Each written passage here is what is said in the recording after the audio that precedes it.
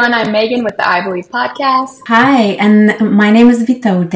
I am a guest on today's episode. I am an Ayurvedic health counselor, and today we're going to talk about the role of sleep when our body is in healing and repair.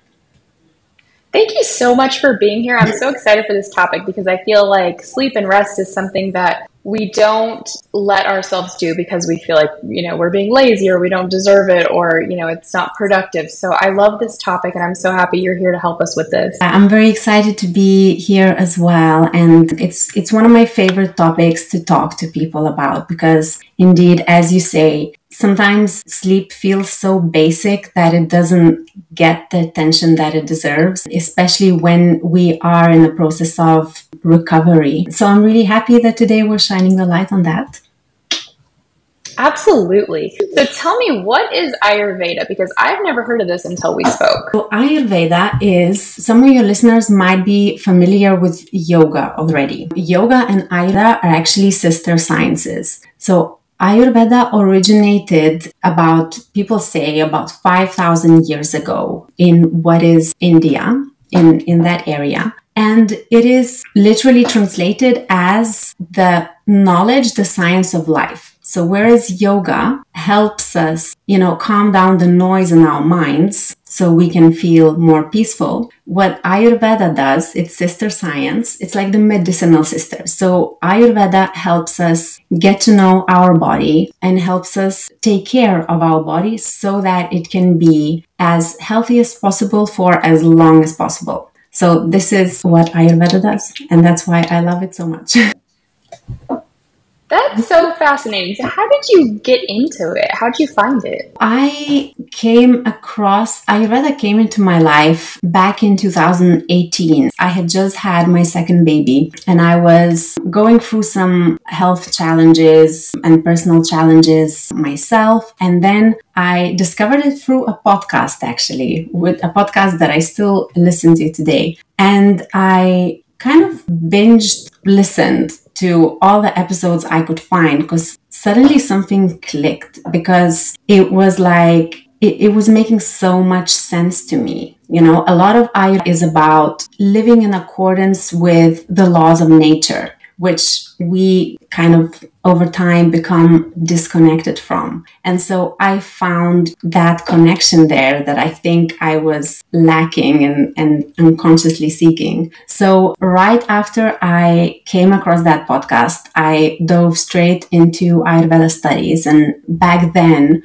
I was working in the field of European politics, so something really completely different. And uh, several years of study. Two years ago, I managed to make a complete career U turn. And so now I am working with people as an Ayurvedic health counselor, which is so joyous for me. Oh, I bet. That's so great when you can make a career out of something that you're passionate about and you love. I mean, that's so rare and special and I, I, mean i wish everybody could have that yeah it's it, it's very special if if you know if once you find that spark then you should really follow it because if you do even if it's challenging in many ways and it it means that you have to make many very uncomfortable decisions in your life which which can be you know scary and but it's just really really worth it. It's scary to try anything new especially when it's not a known quantity of like oh i will do this and this is the outcome when you just jump in.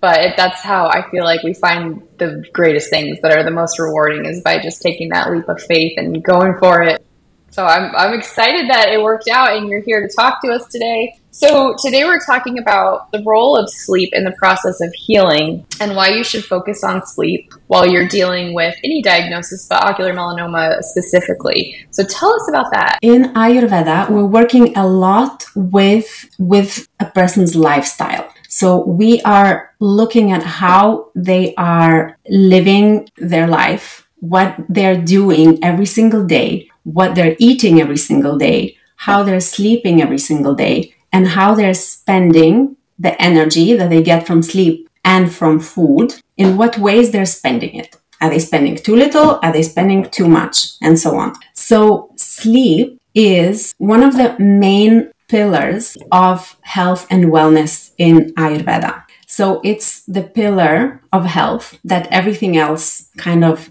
stands on. So that's why when I start working with someone, that is going to be one of the first pieces that we're going to look at together. How is that person sleeping? And if they're not sleeping, even if they have whatever symptoms they might be experiencing, we will be circling back to the quality of their sleep. And in fact, now I think it's about like, it's thousands and thousands. I think like 17,000 studies have been done on sleep in conventional medicine. So it, it is a subject of interest to science as well. And they've discovered that it's the single most effective thing that we can do every day to reset our brain and our body's health. So this is really an incredible thing to, to think about and to integrate into our mindset for everyone, but especially if we're dealing with a health challenge. Because if we're, we're told by science, they're able to measure that, you know, it's the thing, it's more important than eating right. If somebody is at a point in their life where they feel like their sleep is a mess, their diet is a mess, they have no energy, everything is going wrong. If they just focus on the sleep piece, that can really help to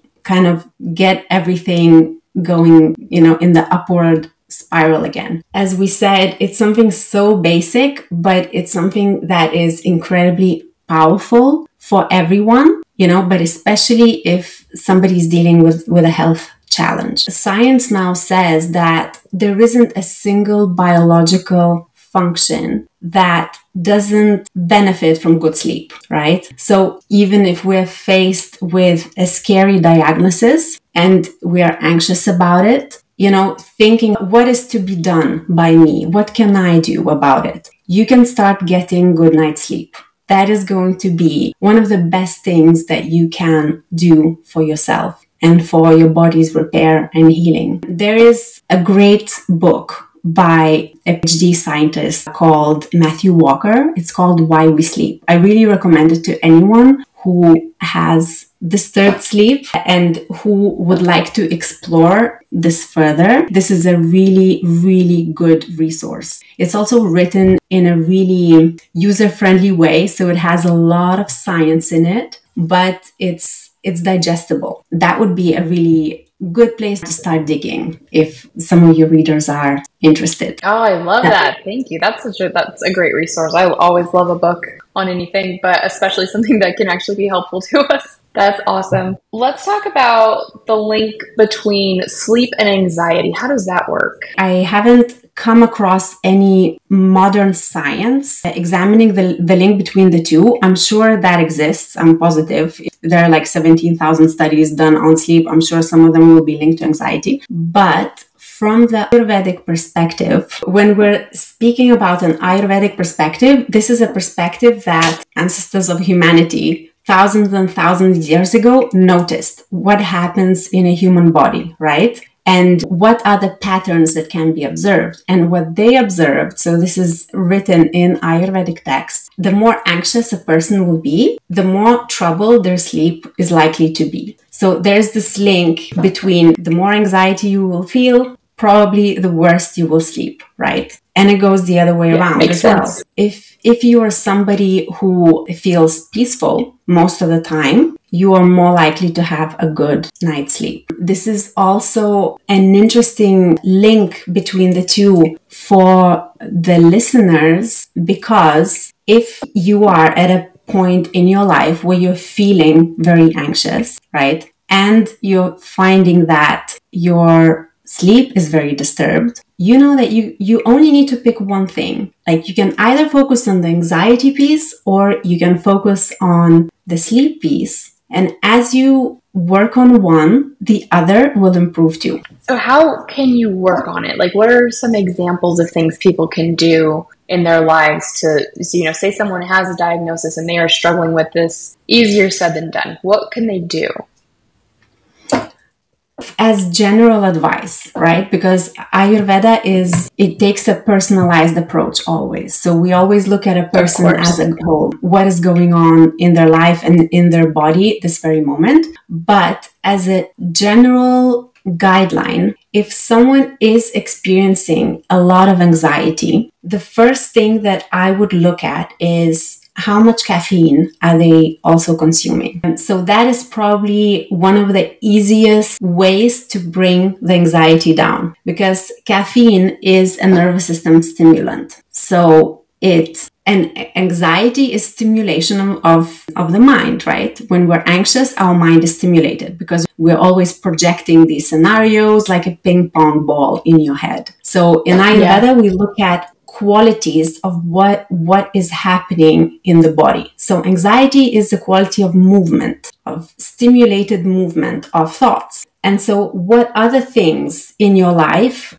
give you stimulation? What other other things are you consuming during the day for example that have the same effect because like attracts like yeah? And opposites create balance. This is like the law uh-huh. of nature in a way. Caffeine is probably the first where i would look. And it's incredible how many people consume way more caffeine than they are aware of. Caffeine is not only in coffee. Caffeine is also in dark chocolate caffeine is also in green tea black tea even decaf will have like 30% caffeine. Without being aware of it, it can really build up in our body. And then caffeine in an adult person has a five hour half life. So it means to eliminate a caffeine that will be present in a coffee cup completely, we need 10 hours. A cup of coffee in the afternoon, by the time we need to go to bed, there's still this stimulation of the nervous system that is present in our body. There's still that stimulating mm. effect. It's not about being guilty though. Some people handle caffeine better than others. It's usually people who have a bit more like body mass, they're more stable, they have a larger frame. Usually they will be less anxious. They will have less of this anxiety tendency.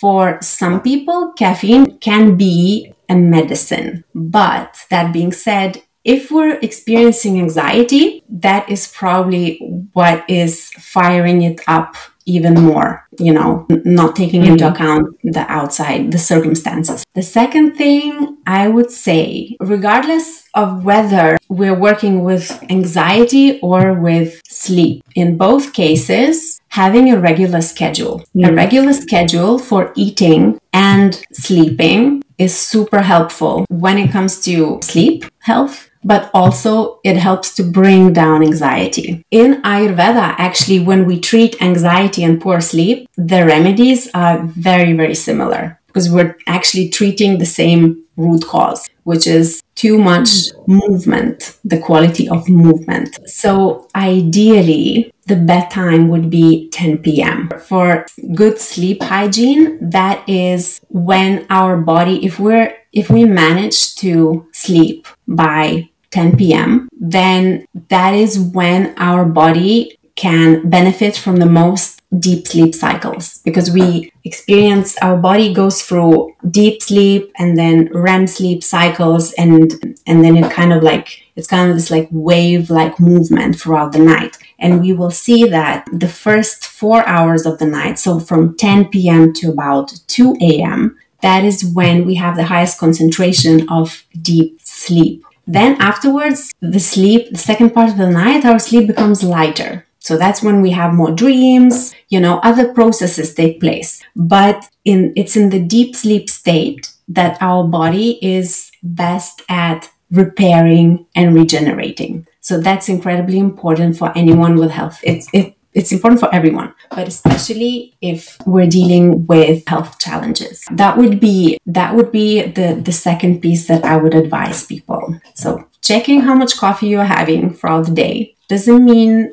you know, that you have to cut it all out. In fact, if somebody is very used to having a lot of coffee, like three cups of coffee per day, and if they suddenly go off it, it can create, you know, withdrawal symptoms. It can create agitation, extra agitation in the body, because that's a very sudden change. Any kind of sudden change can create agitation. So, you know, phasing it out, maybe first making like half a cup less, you know, or replacing it with an alternative, especially in the afternoon, and then gradually phasing it out. And then looking at what time are you going to bed, right? What is, what is your evening routine? Are you allowing your nervous system to wind down? Because our nervous system also needs like a buffer, you know, to mm-hmm. go from, from like high functioning working brain into a relaxed brain. It's not like a non and off switch. So we need to also foresee a couple of hours in the evening where we reduce our screen time, right? Where we do something relaxing, whatever that, that, that can be different for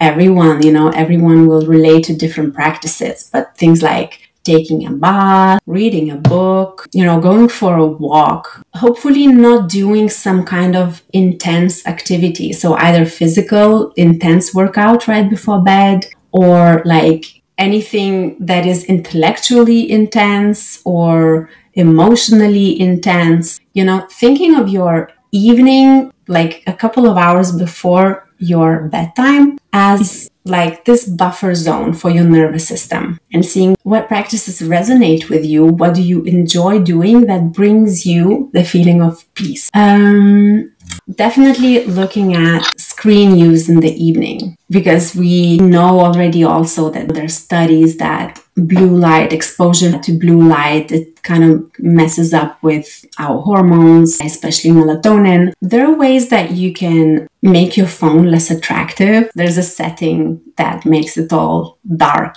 and unattractive to look at in the evening, especially in the winter. Now we use our lights less. The lights that you have in the house after dark, that they're nervous system friendly. For people who, who really are struggling with insomnia, mm-hmm. Would really recommend also looking like you, you can film your light with your phone through your camera and see mm-hmm. in the recording if it flickers. Sometimes we won't be able to notice that with a naked eye, but our nervous system notices it. So if you have flickering lights in your rooms uh, where you spend your evenings, you know, that's something you could look at. There are special light bulbs that you can get as well that are more nervous system friendly. So that's fascinating. So if your light, if you look at your light through your phone and it flickers, what kind of lights are those? Are those like the kind of like the new energy saving ones, or they're probably the more likely ones to flicker? So fluorescent lights, I, am not an expert in lights, but definitely if they flicker, they will agitate our nervous system in a way that we can't perceive. Oh. Some people, it, it might be fine. Like for, for people who in general are sensitive. So, you know, going through a lot of anxiety are not sleeping well, that is an additional, an additional thing that they could look at.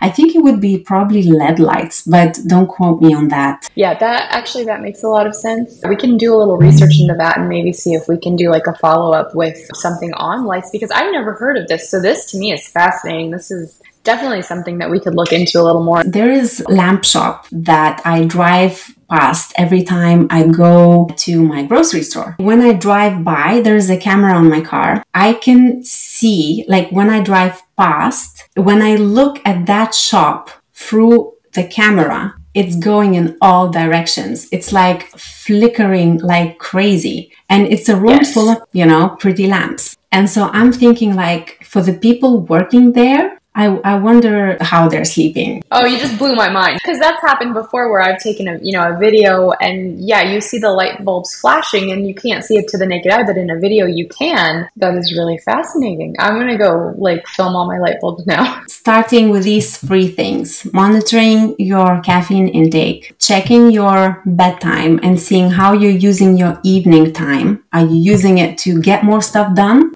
Or are you other things that you can do to help yourself wind down? Then checking your blue light exposure and light bulb exposure. I mean we we have mm-hmm. evolved over millennia. We were living in tune with natural rhythms. And so what happens what happens when the sun goes down our body technically should not be exposed to light or any bright light. That, in general, helpful for our health. It's going to be helpful for sleep. It's going to be helpful overall because this is how our bodies evolved. And the same goes for, for digestion. Our digestion also follows the rhythm of the sun. We can digest the most. Our digestion is strongest at lunch. when the sun is highest in the sky. If we consume the most of our food at lunch, that's when we digest it the most. And often what happens nowadays is that people would have lunch on the go, having a snack or something, and then have a big meal at dinner, which can also sometimes disrupt sleep because at dinner it's like our digestion capacity goes down just like the sun that's another thing for sleep health checking when are you having dinner are you leaving enough hours so maybe leaving a good buffer of three hours before you're going to sleep. That for me, that's a big one. I tend to eat more of my food in the middle of the day. I don't eat dinner very often. And when I do eat dinner, especially a later, bigger dinner, I don't sleep near as well. But when I go to bed on more of an empty stomach, I always sleep so much better. So that is something that I try to do, and I've I can tell a huge difference.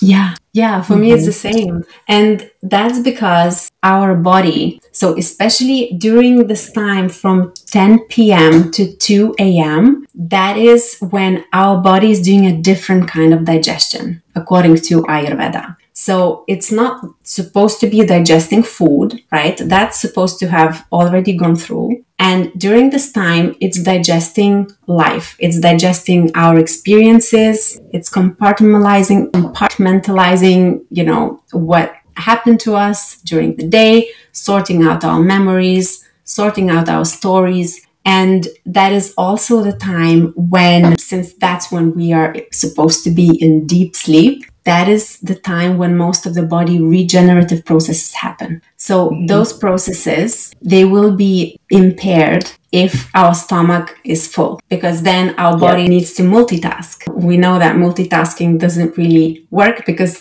you end up not doing any of the tasks well. So yes. you neither digest you well, poorly. you feel heavy in the morning, and you neither repair well. So yeah, that's another thing that people can look at to sleep better. Definitely. And that is, I think, very true. We could do a whole episode on just eating windows, I feel like, because especially when you are trying to heal yourself and you're going through something like that, there are so many studies on when the restorative processes happen in your body after eating. You know, there's different hour marks, and I don't have them all memorized, but I've read it a ton of times where at this hour, since you've stopped eating, this process starts, and then at this hour mark, this process starts. And to get into that deep healing restorative state, you have to be fasted for quite a few hours. So the normal, you know, for like obviously we're in America, so for us, like that normal American eating schedule where you're eating at like six, seven p.m. at night you're never going to get to that phase.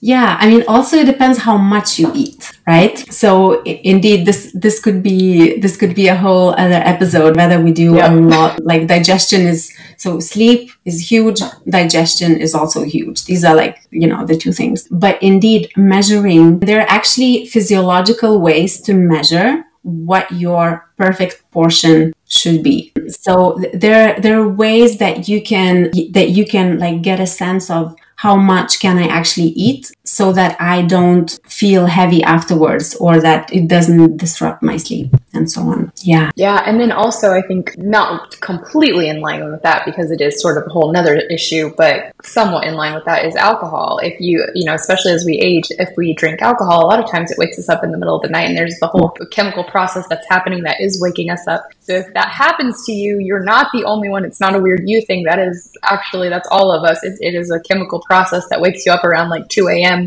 That's another thing that we could do is, you know, cut back on the alcohol or skip it.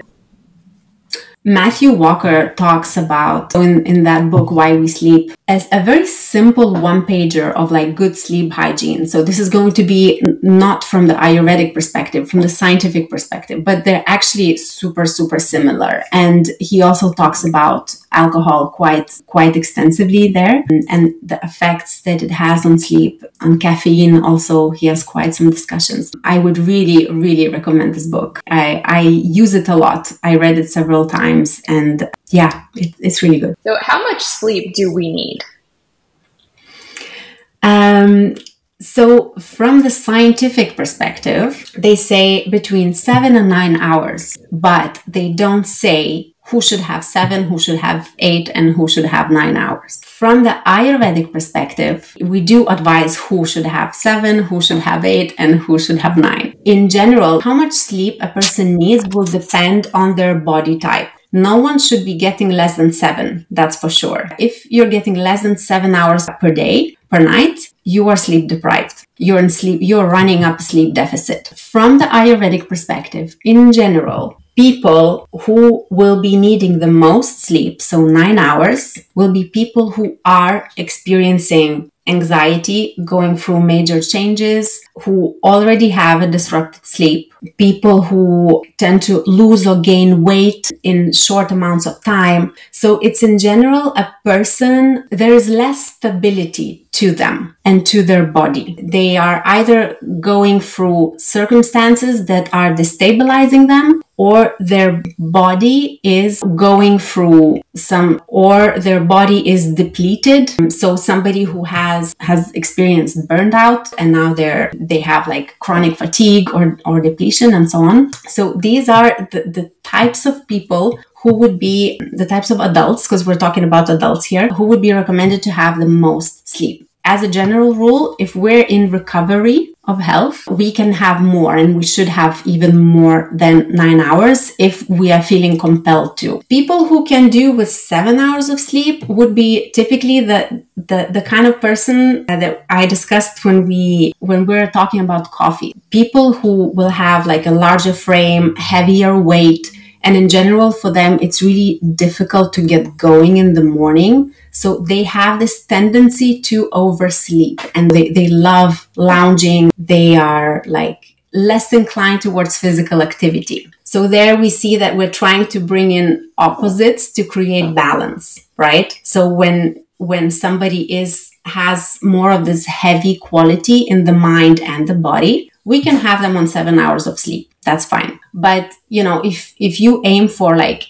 eight or nine that's that's already and it's probably much better than the majority of the population. Just as some extra motivation for people to to take this really seriously now there is science that shows so for example they did this experiment where they had people on six hours of sleep per night for one week in a lab and they tested their genetic expression. So the genetic code they noticed starts to change after one week of getting just six hours of sleep. So that's crazy. Um, the certain segments of the DNA molecule, you know, we have like very long strands and only certain segments will be activated and expressed at certain times. And so they found that after only one week of having somebody on six hours of sleep, the segments that were in relation to chronic inflammation, um,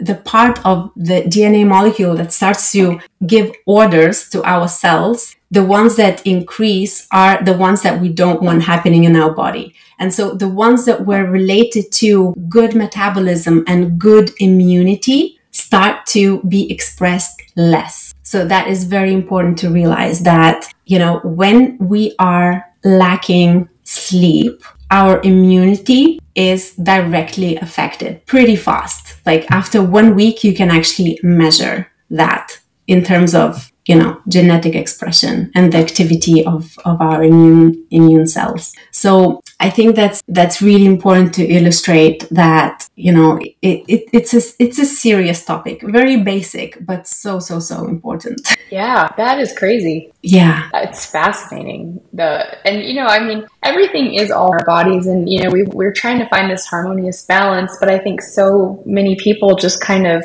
get sucked into their day-to-day grind and they forget to check in with their body and see how are they feeling and you know like one of the things that i try to do is i try to drink a lot of water in the earlier part of the day mm-hmm. so that i'm not thirsty and drinking a lot before bedtime. So that's a conscious thing i do. Yeah. but i haven't always done that. And there are days that i'm busy and i don't drink a lot. And then I, I realize i'm thirsty in the evening and i drink a ton of water and then i'm up half the night. So you know even something like that just listening to your body cues, knowing when you're thirsty, drinking early in the day, you know, all of the things that we can do that if we just like took the time to check in with our body and listen, we could probably be a lot better at just picking up our own cues.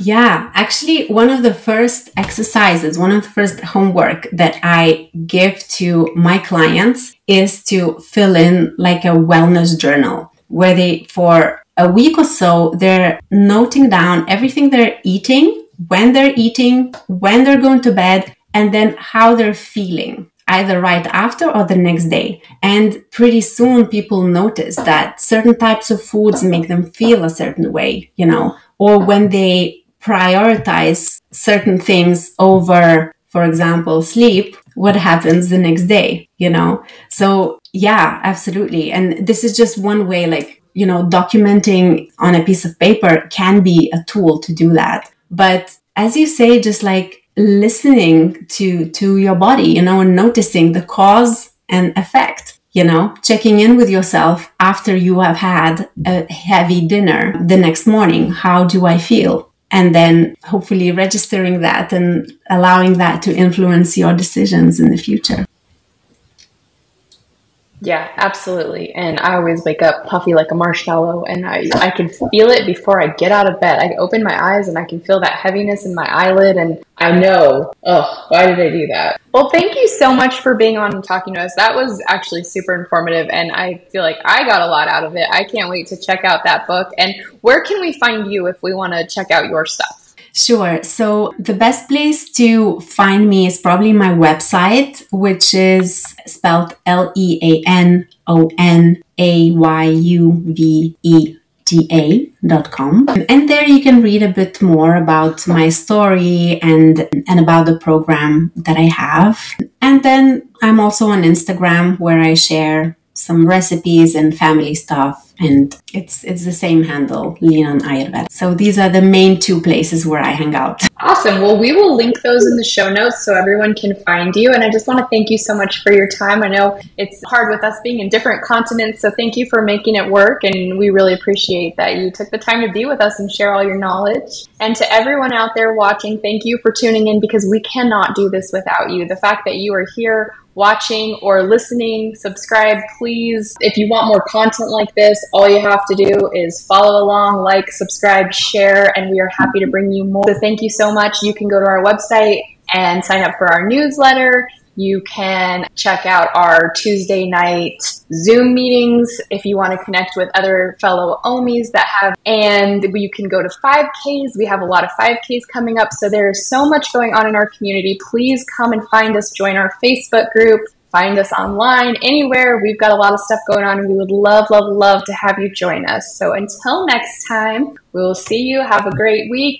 Bye, everyone. Thank you for having me. Bye. Bye.